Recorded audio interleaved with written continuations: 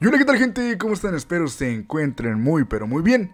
Como les había informado en el video pasado de las curiosidades del capítulo 1 de la serie de Halo, vamos a estar sacando curiosidades de cada capítulo. Así que el día de hoy tocan las curiosidades del capítulo 2 de la serie de Halo. Pero antes de empezar con las curiosidades, quiero invitarlos a que si el contenido que ustedes están viendo les gusta, pueden apoyarme muchísimo con un pulgarcito arriba. Al igual que se pueden suscribir si es que no se han suscrito para los futuros videos de curiosidades. Igual quiero mencionarles que estamos haciendo tanto resúmenes como videos de curiosidades de cada capítulo. El resumen del capítulo 2 ya está en el canal por si quieren ir a verlo. Una cosa más antes de comenzar, quiero agradecerle a Waking por su ayuda con el video de las curiosidades. Una vez dicho todo esto, ahora sí, empecemos con las curiosidades del capítulo 2 de la serie de Halo.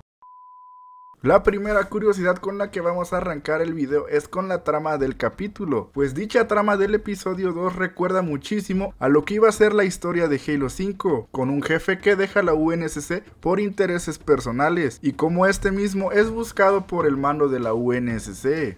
Como curiosidad número 2, no todos los humanos pueden interactuar con los artefactos Forerunner en la serie, siendo que en los juegos es bastante distinto. En los juegos existen personas con mayor afinidad y mejor contacto con ellos de forma innata, como lo es la doctora Halsey, la profesora Anders y el jefe maestro. Con el flashback de 22 años en el pasado y suponiendo que como en el canon los Spartans recibieron aumentaciones alrededor de los 18, como lo que podemos ver en el fragmento del inicio, el jefe ya pasó por esto y en el tiempo actual de la serie el jefe tendría alrededor de 40 años. Al llegar el jefe maestro y Quan Ha a la ciudad de los escombros, cuando el jefe abre la puerta para entrar a la ciudad, suena el sonido de cuando abres las puertas en Halo 2.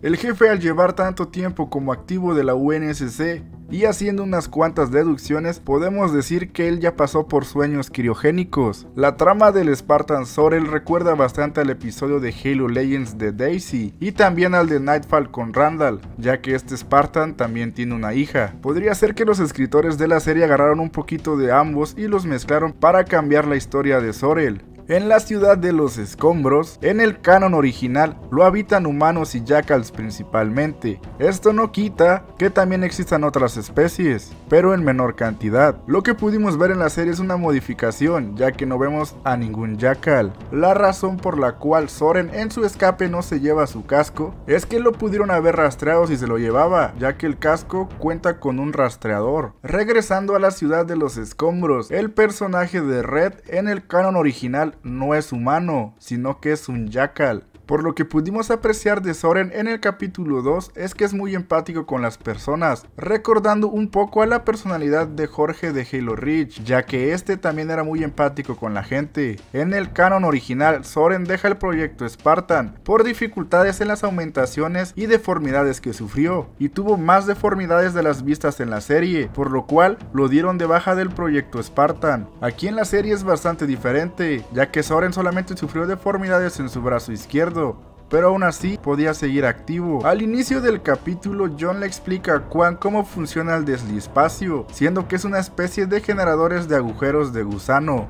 Halsey menciona cómo Cortana mejoraría el desempeño del jefe, con mejor tiempo de respuesta, percepción de combate, análisis de información y de objetivos. Esto también lo mencionan los juegos. El Spartan Banach 134 del equipo plateado recuerda mucho al número de Spartan del mejor amigo de John, siendo que si quitamos el 1 y ponemos un 0, sería el número del candidato Sam 034. Por si no lo habían notado, parece ser que Lord Hood aparece en el episodio. Este podría ser el que tiene la conversación con Halsey en un inicio. El propósito de la prisa de la UNSC para recuperar Madrigal es que el combustible serviría para la guerra contra el Covenant. Como pudimos apreciar en el capítulo, la UNSC puso un mandamás lo más rápido posible. Tras descubrir que el artefacto revela un Halo, podemos decir que es muy parecido a como en Halo 1 el Capitán Kiss descubre el nombre del anillo tras ser capturado por el Covenant, aunque en la serie no es el Capitán Kiss sino Red.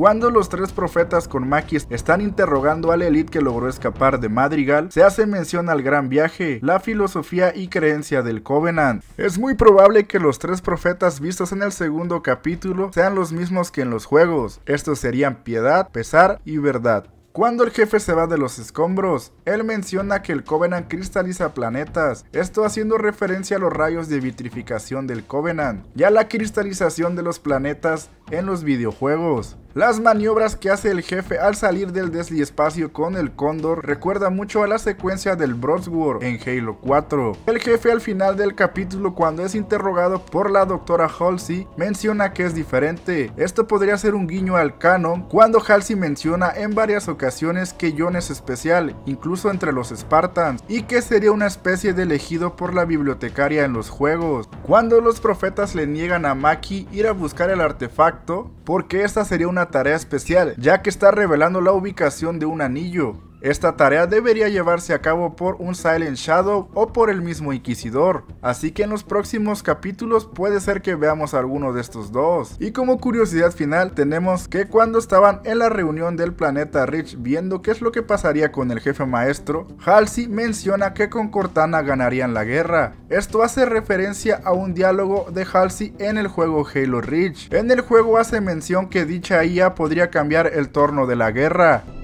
la humanidad tiene las de perder. Cuando Rich caiga, y caerá, nuestra aniquilación será casi segura, a no ser que este artefacto nos permita diseñar una defensa contra el Covenant, algo que cambie las reglas, al nivel de la bala cónica en el siglo XIX o del viaje hiperlumínico en el 23. Y con eso acabamos las curiosidades de este capítulo. Ya saben que ustedes me pueden dejar en los comentarios algunas curiosidades que se me hayan pasado del capítulo, ya que las que pusimos aquí son las que nosotros pudimos apreciar, así que si se nos pasó alguna, agradecería mucho que la pongan en los comentarios. Al igual que quiero preguntarles que cuál de estas referencias o curiosidades ustedes pudieron notar en el capítulo. Ya saben que me pueden apoyar muchísimo con un pulgarcito arriba y se pueden suscribir activando la campanita para que les lleguen las notificaciones de los próximos videos de curiosidades. Antes de terminar con este video, quiero agradecerle a Waking por su ayuda en este video de curiosidades. Una vez dicho esto, espero les haya gustado mucho este video y nos estamos viendo en un próximo video.